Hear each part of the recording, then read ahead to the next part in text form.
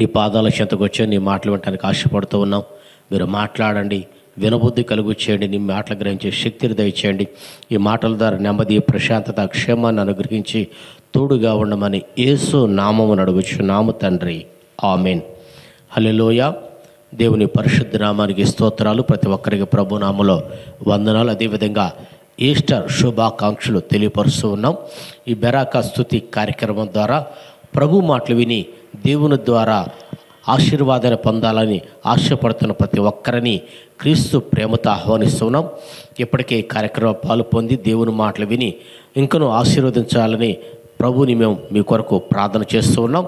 ఈ సమయంలో దేవుని మాటలు మనం ధ్యానించి చదువుకునేటట్లయితే కొరిందులకు రాసిన మొదటి పత్రిక పదిహేనవ అధ్యాయం ఇరవయో వాక్యాన్ని చదువుకుందాం. అయితే నిద్రించిన వారిలో ప్రథమ ఫలముగా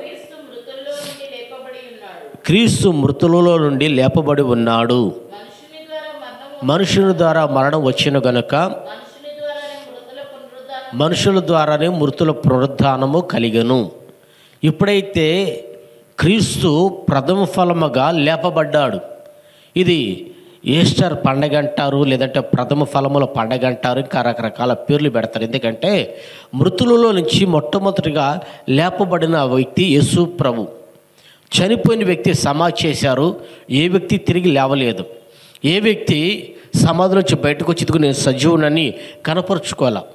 కనుక ఆ వరుస క్రమంలో మొట్టమొదటిగా ప్రభువు మృతులలోంచి ప్రథమ ఫలముగా లేపబడ్డాడు. కనుక ఇది ప్రథమ ఫలముల పండగ అని చెప్పేసి అనుకుంటారు.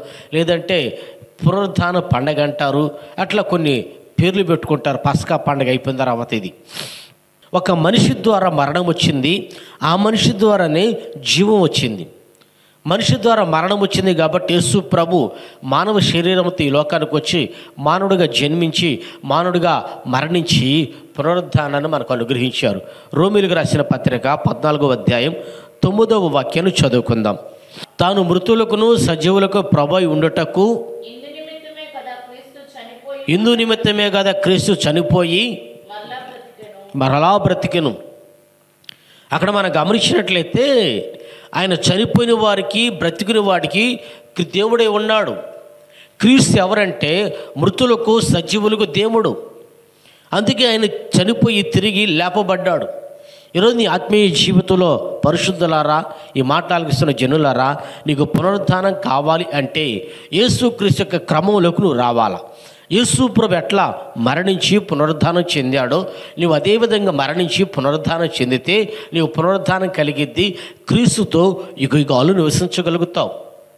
ఆయన మన కొరకు రక్తాన్ని చిందించి ప్రాణాలు పెట్టి మన అతిక్రమాల నిమిత్తం బలియాగమై మన పాపాల కొరకు నలగగొట్టబడి మన పాపాల నిమిత్తం రావాల్సిన దోష శిక్షని ఆయన భరించి మనకు విడుదల కలుగు చేశారు. ఇప్పుడు మనం పరిశుద్ధతను కాపాడుకుంటూ ప్రభు రాకడికి సిద్ధపడాలి? కనుక నీ ఆత్మీయ జీవితాలలో ఇక నాకు పాపం వద్దు పరిశుద్ధత కావాలా లోకం వద్దు పరలోకం కావాలా ఈ లోకంలో ఏది నాకు అక్కర్లేదు ప్రభుత్వ యుగాలు నివసించే భాగ్యం కావాలని చెప్పేసి నువ్వు ఎప్పుడైతే దేవుని రాకడ కొరకు ప్రభుత్వం నివసించే ఆ ధన్యత కొరకు ఎదురు చూడగలుగుతావో దేవుడు నీకు పునరుద్ధానాన్ని దయచేస్తాడు. హలిలోయా ఆయన ఏ క్రమంలో అయితే లేపబడ్డాడో ఆ క్రమములో మనమందరం లేపి తనతో చేర్చుకును గాక. కనుక ఇదిగో నేను చనిపోయి మూడవ రోజు లేపబడతాను. పునరుద్ధరణ తిరిగి లేస్తాను. నేను చనిపోయే దేవుడు కాదు చనిపోయినా కూడా బ్రతికే దేవుడు అని చెప్పేసి ఈ లోకానికి కనపరుచుకున్నాడు. ఆయన పునరుద్ధానము ద్వారా లేపబడిన తర్వాత ఏమి కలిగింది? ఆ లేచాడు బాగానే ఉంది సజీవుడిగా ప్రత్యక్షపరచుకున్నాడు బాగానే ఉంది. ఆ లేపబడిన తర్వాత మనకి ఏమి దొరికింది? ఆ లేపబడిన తర్వాత మనిషికి ఏమి మిగిలింది? బైబిల్ వచ్చి కొన్ని విషయాలు క్లుప్తంగా ధ్యానించుకునేటట్లయితే జనులారా యోహాను సువార్త ఇరవయో అధ్యాయం పంతొమ్మిదవ వాక్యాన్ని చదువుకుందాం. యూదులకు భయపడి యూదులకు భయపడి తాము కూడి ఉన్న ఇంటి తలుపులు మూసుకొని ఉండగా మూసుకొని ఉండగా నిలిచి నిలిచి మీకు సమాధానం కలుగునుగా కాని వారితో చెప్పాను. మీకు సమాధానము కలుగునుగా కానీ వారితో చెప్పాను. అక్కడ వాళ్ళు భయపడతా ఉన్నారు. దేనికి భయపడుతున్నారంటే యూదులకి భయపడ్డారు. యూదులు ఎవరు వీళ్ళెవరో? యూదులకు భయపడాల్సిన పని ఎందుకు వచ్చింది? యూదులు ఎవరు వీళ్ళెవరు? కానీ వీళ్ళు యూదులకి భయపడ్డారు. భయపడి ఒక గదిలో వెళ్ళి తలుపులు వేసుకుని ఉన్నారు. తలుపులు వేసుకుని ఉంటే ప్రభు వాళ్ళ మధ్య ప్రత్యక్షమై ఇదిగో మీకు సమాధానం కలుగునుగాక భయపడబాకండి అన్నాడు.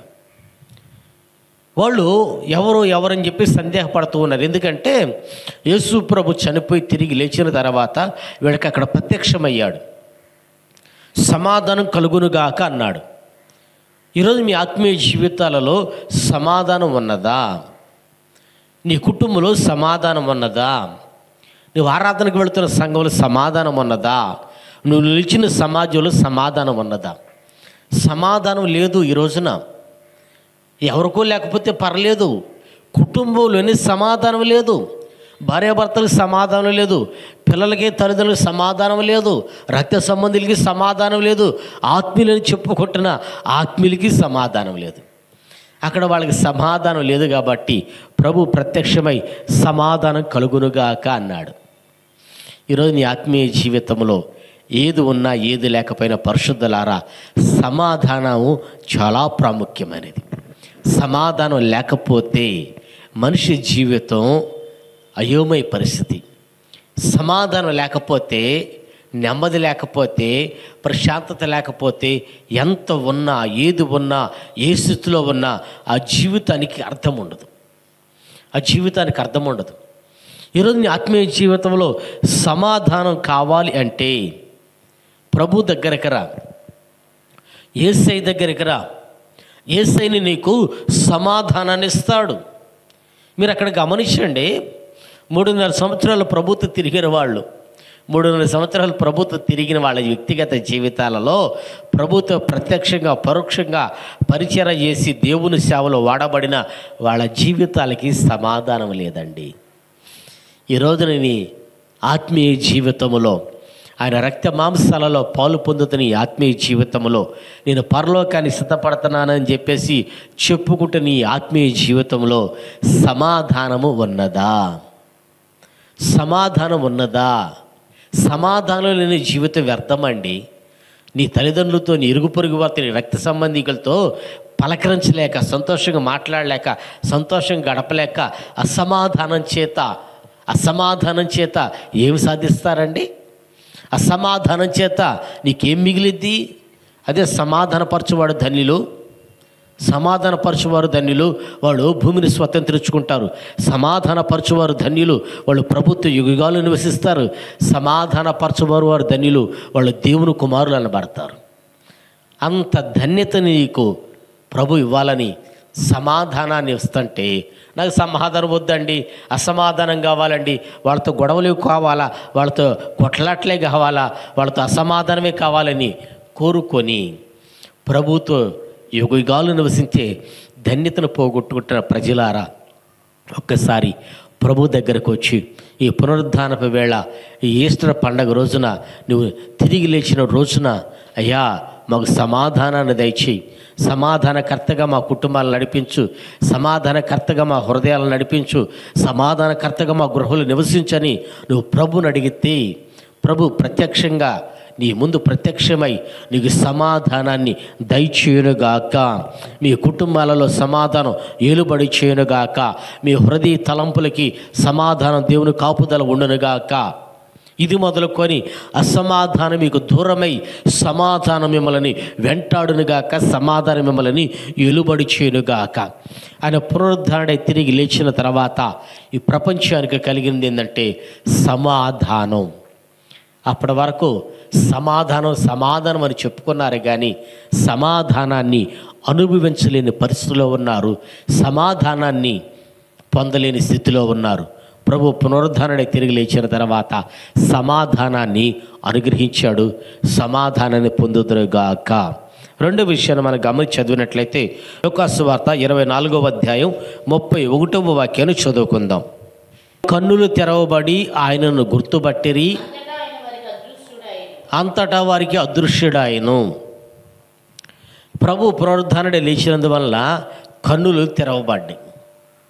యేసు ప్రభు ఒక ఇద్దరు శిష్యులు వెళతా ఉంటాడు అమ్మాయి మార్గంలో వాళ్ళతో పాటు వెళతా ఉన్నాడు ఈయన కూడా. ఈయన కూడా వెళుతున్నారు మాట్లాడుకుంటున్నారు. ఏమైపోయింది ఏమైపోయింది అంటే ఈ సంగతి నీకు ఒక్కడికే తెలియదా ఈ ప్రాంతంలో ఉన్న అందరికీ తెలుసు బయట వాళ్ళకి తెలుసు. అని చెప్పి చెప్పుకుంటుంటే ఏంటంటే నజరడి నేసుని క్రీస్తుని సిలువ వేశారు. సమాధులు పెట్టారు ఎవరు ఎత్తుకుపోయారని చెప్పేసి పుకారు పుట్టింది. ఆయన లేడని చెప్పి చెప్పుకుంటూ ఉన్నారు. సరే చీకట పడుతుంది. మాతో పాటు వచ్చి భోజనం చేయి. మాతో పాటు వచ్చి రాత్రి బస చేయి. అర్ధరాత్రి వేళ చీకట్లో ఎక్కడికి వెళ్తావు రాత్రి వేళ అని చెప్పేసి అడిగితే ప్రభు వెళ్ళాడు. వెళ్ళిన తర్వాత ఆయన ఒక రొట్టెని ఎత్తుకొని కృతజ్ఞతాస్తుతులు చెల్లించి వారికి అందించినప్పుడు వారి కన్నులు తెరవబడ్డాయి. హలిలోయా ఈరోజు నీ ఆత్మీయ జీవితంలో నీ కన్నులు ఎందుకు మూతవేయబడ్డాయి? నీ కన్నులు ఎందుకు మూసివేయబడ్డాయి?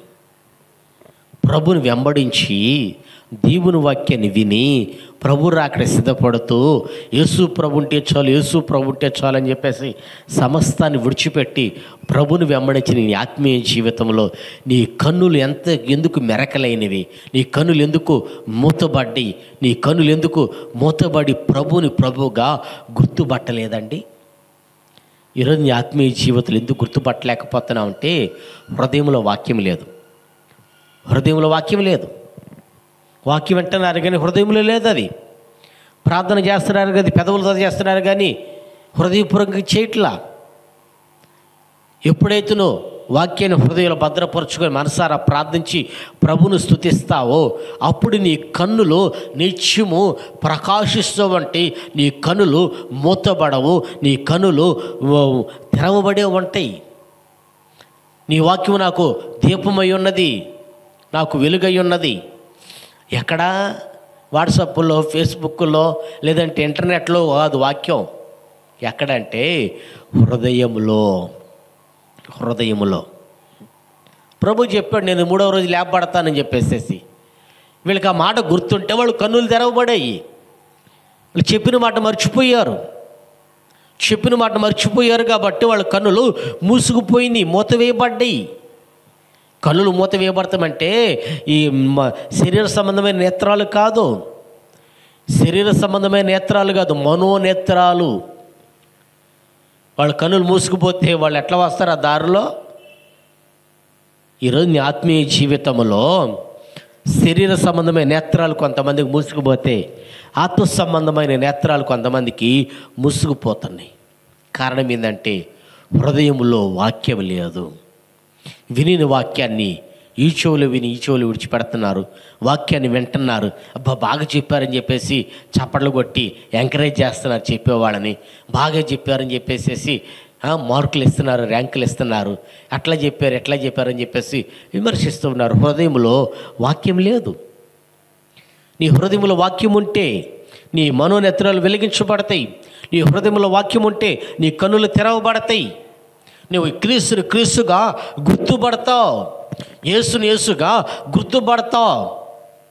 నీ కొరకు ఎవరు రక్తాన్ని చిందించింది? నీ కొరకు ఎవరు బలియాగమైంది? నీ కొరకు ఎవరు ప్రాణత్యాగం చేసింది? నీ కొరకు ఎవరు మార్గాన్ని సిద్ధపరిచింది? నీ కొరకు ఎవరు మార్గాన్ని సరళం చేసిందో నువ్వు గుర్తుపడతావు. ప్రజలారా వాక్యాన్ని ధ్యానించి వాక్యాన్ని గ్రహించగలుగుతూ ఉన్నారా? ఈరోజు మీ ఆత్మీయ జీవితాలలో ఎందుకు మనోనేత్రాలు మూసివేయబడ్డాయి? ఎందుకు నేత్రాలు మూసివేయబడి? ఈయన క్రీస్తా కాడన్న సందిగ్ధులు ఎందుకు ఉండిపోయారు? గుర్తుపట్టలేని పరిస్థితులు ఎందుకున్నావు? భక్తి చేస్తున్నావు? మందిరానికి వస్తున్నావు? ఆరాధనలో పాలు పొందుతున్నావు? కానీ నిజమైన దైవజనుడు ఎవరో సమర్పించుకున్న దైవజనుడు ఎవరో నీ కొరకు ప్రయాసపడుతున్న దైవజనుడు ఎవరో నీ కొరకు దివారాత్రులు ప్రభుకు మొరపెట్టే దైవజనుడో ఎందుకు గుర్తుపట్టలేకపోతున్నావంటే నీ హృదయంలో వాక్యము లేదు. నీ హృదయంలో వాక్యం లేదు. ఎప్పుడైతే నీ హృదయంలో వాక్యం ఉంటుందో అప్పుడు వాక్యం నిన్ను వెలిగించిద్ది. వెలిగించబడిన ఆ వాక్యం నీకు మనోనేత్రాలకి శరీర సంబంధమైన నేత్రాలకి నీకు వెలుగునిచ్చి నీ నేత్రాలు మూత వేయబడకుండా మూసివేయబడకుండా వెలిగిస్తాయి. అప్పుడు ధారాళంగా చూస్తావు. ఈయన క్రీస్తు ఈయన నన్ను ఆశీర్వదించాడు. ఈయన ద్వారా నాకు మేలు కలిగింది. ఈయన ద్వారా నాకు ఆశీర్వాదం కలిగింది.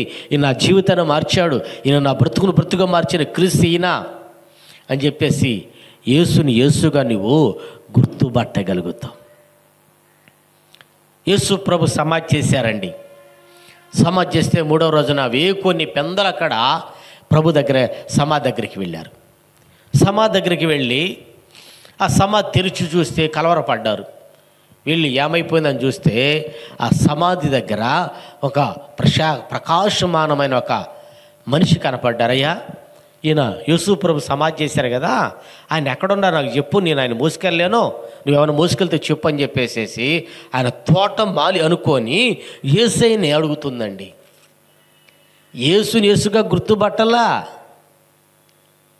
వచ్చింది సమాధి దగ్గరికి. నేను సమాధిలో ఉండే దేవుడు కాదురా బాబా.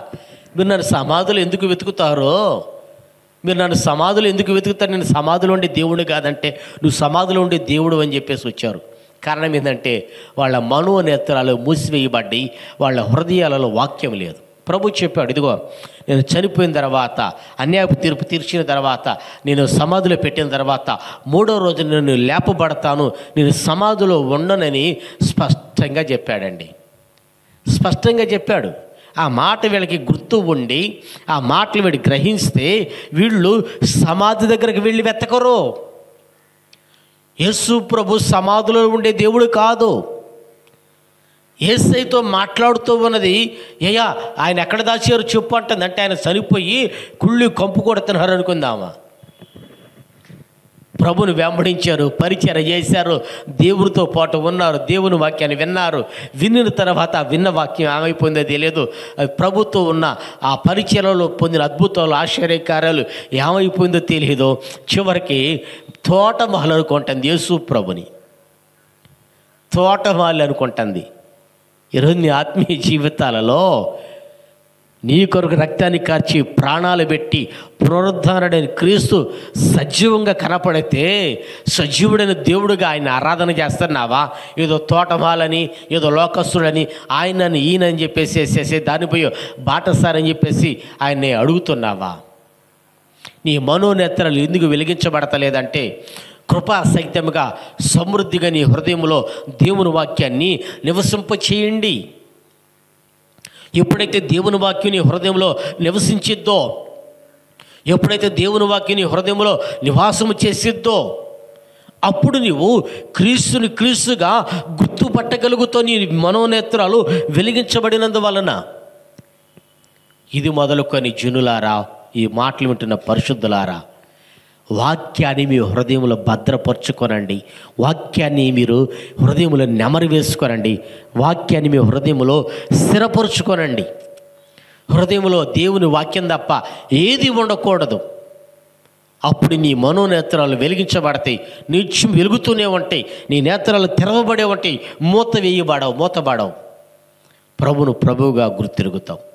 మూడవ మాట చివరిగా మనం ఒకసారి గమనించి చదివినట్లయితే యోహాను సువార్త ఇరవై ఒకటవ అధ్యాయం ఆరవ వాక్యాన్ని తొమ్మిదవ వాక్యాన్ని చదువుకుందాం.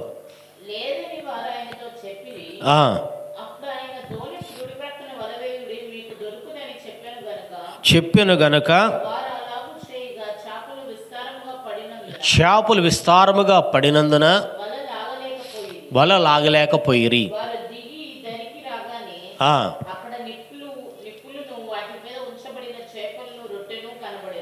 అక్కడ గమనించినట్లయితే పిల్లలారా తినడానికి మీ దగ్గర ఏమన్నా ఉన్నదా? అన్నాడు.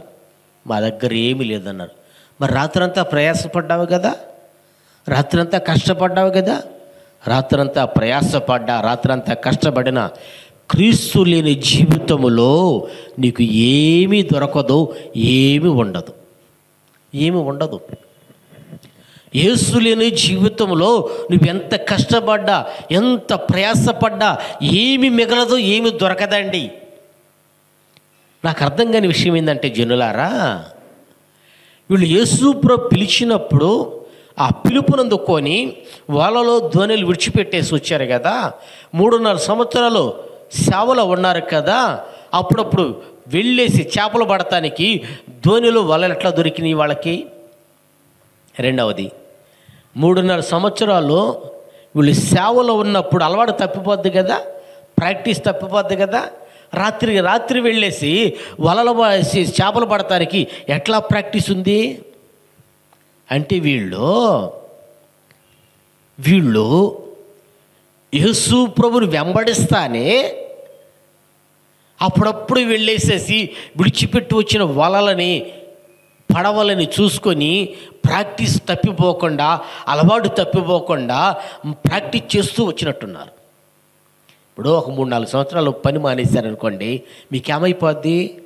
సడన్గా పని చేయమంటే అయ్యా అలవాటు తప్పింది మళ్ళా ప్రారంభించాలంటారు. అలవాటు తప్పిపోయింది. అలవాటు తప్పిపోయింది ప్రారంభించాలంటారు. ప్రభు కోసం విడిచిపెట్టి వచ్చిన తర్వాత రాత్రి రాత్రి వీళ్ళు ధోనిలో పడవలు ఎక్కడి నుంచి వచ్చినాయి వలలు ఎక్కడి నుంచి వచ్చినాయి చెప్పండి పడటానికి పడవలు ఎక్కడి నుంచి వచ్చినాయి వలలు ఎక్కడి నుంచి వచ్చినాయి? అంటే వెంబడిస్తున్నాం అన్నట్లుగానే ఉన్నారు కానీ క్రీస్తుని వెంబడించిన పరిపూర్ణముగా వెంబడిస్తున్నట్టు నటించారు. అందుకే వీళ్ళ జీవితంలో ఏమీ దొరకలేదు ఏమీ మిగలలేదు. రాత్రంతా ప్రయాసపడ్డా వీళ్ళేమీ సాధించలేకపోయారు. ఏమి సాధించలేకపోయాడు. ఆల్రెడీ ఒకసారి ప్రయాసపడ్డారు కష్టపడ్డారు ఏం మిగల్ల. ప్రభుత్వం మూడున్నర సంవత్సరాలు ఉన్న వీళ్ళ జీవితాలలో ఏ రోజు వాళ్ళకి కొరత లేదు. ఏ రోజు వాళ్ళకి దరిద్రత లేదు. ఏ రోజు వాళ్ళకి ఇబ్బంది లేదు.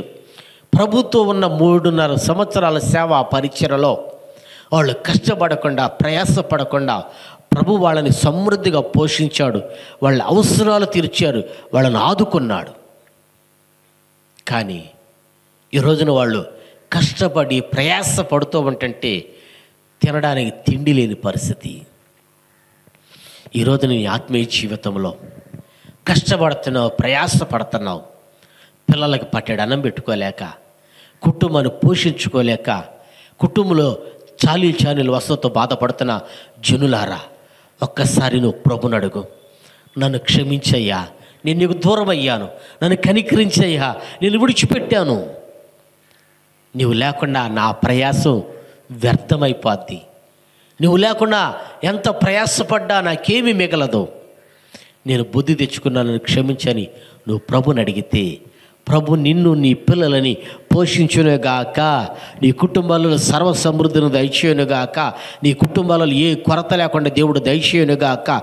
నీకు కావలసిన ప్రతి అక్కరని ప్రభు తీర్చి తన మహిమైశ్వరంలో నుంచి మీ ప్రతి అవసరతను కీర్తు క్రీస్తు తీర్చునుగాక. తన మహిమైశ్వరంలో నుంచి ప్రతి అవసరతను తీరుస్తాడు.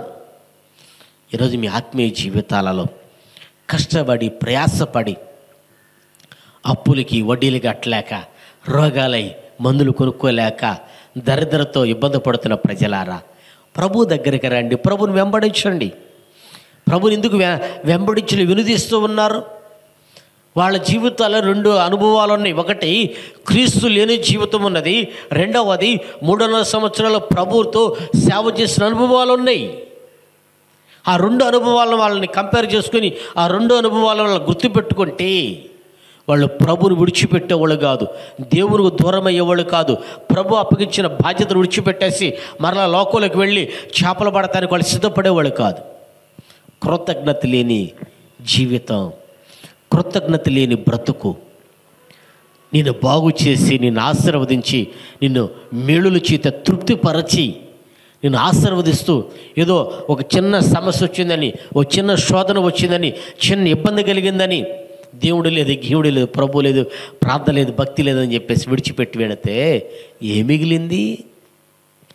నువ్వు ప్రభుని విడిచిపెట్టినా మన ప్రభు మనల్ని విడిచిపెట్టడం. నువ్వు ప్రభువుని దూరం చేసుకున్నా ఆయన నిన్ను దూరం చేసుకోడు. నేను వెతుక్కుంటూ నీ దగ్గరకు వచ్చే దేవుడు యేసు ప్రభు. వచ్చి కూడా ధర్మార్గులారా నన్ను విడిచిపెట్టి పోయారు కదా మీకు జరగాల్సింది జరిగింది అన్నాడా? అల్లా పిల్లలారా తినడానికి ఏమన్నా ఉన్నదా? ఏమీ లేదు. రండి. రండి అని చెప్పేసి కుడివైపున వాళ్ళ ఇమ్మన్నాడు వాళ్ళు వేశారు ఒడ్డుకు చేర్చారు. ఒడ్డుకు రాగానే నిప్పుల మీద కొన్ని రొట్టెలు ఉన్నాయి కాల్చిన చేపలు ఉన్నాయి వీటుకుండి వేయమన్నారు. వాళ్ళు తిని పోషించబడి ఆకలి తెచ్చుకున్నారు ఈ మాటలు వింటున్న జీనులారా క్రీస్తు పునరుద్ధానుడ లేచిపబడిన తర్వాత ఆయన సజీవుడిని లేపబడిన తర్వాత దరిద్రతను తీసివేసి నిన్ను నీ పిల్లలని సమృద్ధిగా పోషించాడు. క్రీస్తు మహిమైశ్వరంలో ప్రతి అవసరతను తీర్చాడు. ఒకటి శరీర సంబంధంగా ఆహారం. రెండవది ఆత్మ సంబంధమైన ఆహారం. వాక్యము చేత మిమ్మల్ని పోషిస్తాడు దేవుడు. నీ ఆత్మీయ జీవితంలో ఆత్మ సంబంధమైన ఆహారం ఉన్నదా? ఆత్మ సంబంధమైన ఆహారం చేత నువ్వు పోషించబడుతూ ఉన్నావా? ఆత్మ సంబంధమైన ఆహారం నీకు సమృద్ధిగా దొరుకుతూ ఉన్నదా? ఏ సంఘములో అయితే ఆత్మ సంబంధమైన ఆహారం చేత పోషించబడతారో. వాళ్ళు బలపరచబడతారు నూతనపరచబడతారు కనికరించబడతారు గొప్ప కార్యాలు చేస్తారు. కుటుంబంలో ఉన్న దరిద్రతను తీసివేయి శాపాన్ని కొట్టివేయి ఆశీర్వాదాన్ని కలుగు చేయమని అడిగితే ప్రభు సమృద్ధినిస్తాడు.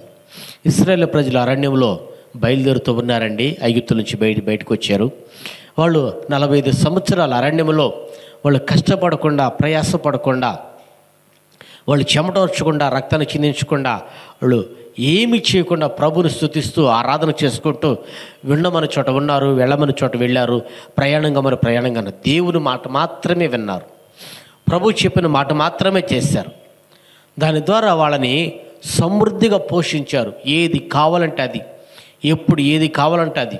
బండల నుంచి దాహం తీర్చి ఆకాశం నుంచి మన్నాను గురిపించి పూరేళ్ళను రప్పించి వాళ్ళని సమృద్ధిగా పోషించారు. కారణం ఏంటంటే దేవుని మాట వినినందువలన. ఈరోజు మీ ఆత్మీయ జీవితాల్లో ఎప్పుడైతే ప్రభు మాటని వినగలుగుతారో అప్పుడు మీరు సమృద్ధిగా పోషించబడతారు. ఇది శరీర సంబంధమైన పోషణ. రెండవది ఆత్మ సంబంధమైన పోషణ. ఈ ఆత్మకి దేవుని వాక్యం అనే పోషణ కావాలా? దేవుని వాక్యం అనే ఆహారం కావాలా? నీ ఆత్మ రక్షించబడి నీ ఆత్మ బలపరచబడి క్రీస్తు స్వరూపం వచ్చి ప్రభుని ఎదుర్కోవటానికి ఈ లోకాన్ని జయించడానికి నీ ఆత్మకి బలము కావాలా? బలము కావాలంటే నీ ఆత్మ శ్రేష్టమైన పదార్థము చేత పోషించబడాలి? ఈ శ్రేష్టమైన పదార్థం ఎక్కడి నుంచి వస్తుందంటే దైవజనుడు దేవుని దగ్గరకు వచ్చి ప్రార్థన చేసుకొని ప్రభు ఆ సంఘానికి ఏం చెప్పాలా? సంఘానికి ఏం బోధించాలా? సంఘాన్ని ఎట్లా పోషించాలని చెప్పేసి ప్రభుని అడిగితే దేవుడు బయలుపరుస్తాడు దాని ద్వారా సంఘానికి ఆహారాన్ని పెడతాడు. ఆ సంఘము బలపరచబడిద్ది. ఆ సంఘము వర్ధిల్లిద్ది. ఆ విశ్వాసి క్షేమస్థితిని పొందుతాడు. అతను తన ఆత్మలో బలము పొంది సాతాన్ని ఎదిరించగలుగుతాడు లోకాన్ని జయించగలుగుతాడు పాపము నుంచి బయటికి రాగలుగుతాడు పరిపూర్ణంగా తన ప్రాణ ఆత్మ శరీరాలని కాపాడుకొని ప్రభు అక్కడికి సిద్ధపడగలుగుతాడు. కనుక నీ ఆత్మీయ జీవితంలో నువ్వు వినుచున్న ఆహారము నీ ఆత్మకి క్షేమాన్ని ఇస్తుందా? నీ ఆత్మకి కీడు చేస్తుందా? మీరు చూ అంటారు కదండి ఏమండి ఆహారాన్ని ఆహారం నేను తినలేనండి. దీని నుంచి నాకు రోగం వస్తుంది. ఈ ఆహారం నేను తినలేనండి. డాక్టర్ తినదు అన్నారు. ఈ ఆహారం తింటే ఇది సమస్య అంట అని చెప్పేసి అంటారు కదండి. అన్ని ఆహారాలు మరి అన్ని ఆహారాలు అయినప్పుడు ఇది తినొచ్చు ఇది తినకూడదు ఇది తినాలని చెప్పేసి ఎందుకంటున్నారు? అట్లాగనే అంత దేవుని వాక్యమే నువ్వు భ్రమపడవాక అంత శ్రేష్ట పదార్థాలని చెప్పేసి నువ్వు మోసపోబాక వివేచించి గ్రహించి నా ఆత్మకి శ్రేష్టమైన ఆహారాన్ని దయచి నా ఆత్మని శ్రేష్టమైన పదార్థాల చేత పోషించు. నీ రాకడ నన్ను సిద్ధపరచమని ఈ రాత్రి ప్రభు నువ్వు అడగగలిగితే ప్రభువు నీకు తన ఆహారాన్ని పంపించి దైవజనుడు దారి నీకు ఆహారాన్ని ఇచ్చి నీ ఆత్మను పోషించి నేను సంరక్షించుడు సమర్థుడు. విని మాటలు ఒకసారి నెమరు వేసుకోండి. మీ కొరకు మేము ప్రార్థన చేయబోతూ ఉన్నాం. ప్రభు పునరుద్ధారణే తిరిగి లేపబడ్డాడు. సమాధిని గెలిచాడు. మృత్యువును జయించాడు. ఆయన సమాధి నుండి దేవుడు కాదు. లేపబడిన తర్వాత సమాధానాన్ని అనుగ్రహించాడు. లేపబడిన తర్వాత మనోనేత్రాలు వెలిగించాడు. లేపబడిన తర్వాత పోషించాడు. జీవాధిపతి సర్వశక్తిమంతుడా ప్రార్థన ఆలకించేవాడా ఈ ఈస్టర్ పునరుద్ధాన ఆరాధనలో మీరు మాట్లాడిన ప్రతి మాటను బట్టి వందనాలు తెలియపరుస్తున్నాం. ఈ మాటలు మా హృదయాలలో స్థిరపరిచి ఫలింప చేయండి. మీరు సమాధిలో ఉండే దేవుడు కాదని సజీవుడైన దేవుడైన లోకానికి కనపరుచుకున్నారు. మా ముందు ప్రత్యక్షమైనందుకు నీకు స్తోత్రాలు. అయ్యా మీరు లేచి తిరిగి లేపబడిన తర్వాత సమాధానాన్ని అనుగ్రహించారు.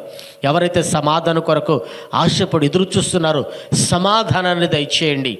ఎవరైతే అయ్యా కనులు మూసుకుపోయి ఉన్నారో మనోరత్నాలు వెలిగించండి. వాక్యాన్ని హృదయాలను స్థిరపరిచి ఫలింపు చేయండి దయగలరు తండ్రి ఎవరైతే కష్టపడుతూ ప్రయాసపడుతూ పిల్లలు పోషించుకోలేక కుటుంబంలో దరిద్రత అనుభవిస్తున్నారో వాళ్ళని కనికరించి సమృద్ధిని దయచేయండి. దయగలరు దేవ ఈ మాటలు విన ప్రతి ఒక్కరూ నిన్ను వెనుదీక వెంబడించినట్లుగా దయచేపండి. ఈ రాకడ సిద్ధపడినట్లుగా సహాయం దయచేయండి. తమ ఆత్మలను రక్షించుకొని పోషించుకొని నీ ఎదుటి నిలబడు శక్తి గలవరగినట్లుగా శ్రేష్టమైన ఆహారము చేత పోషించండి. ఈ పరిచయని అయా ప్రోత్సహిస్తున్న ప్రతి ఒక్కరిని అన్ని విషయాలలో ఆశీర్వదించండి. మమ్మలను మమ్మల్ని వెంబడిస్తున్న వారిని నీ రాకడికి సిద్ధపరుస్తున్నందుకు ఈ స్థుతులు స్తోత్రాలు చెల్లిస్తూ యేసు నామమును అడుగుచున్నాము తండ్రి. ఆమెన్. మన ప్రభువైన యేసుక్రీస్తు కృపయు తండ్రి అయిన దేవుని ప్రేమయు పరిశుద్ధాత్మ దేవుని సన్నిధి సమాధానం మనకును ప్ర పరిశుద్ధులకును ప్రభు అక్కడికి ఎదురు చూస్తున్న ప్రతి ఒక్కరికి తోడై ఉండి నడిపించునుగాక. ఆమెన్.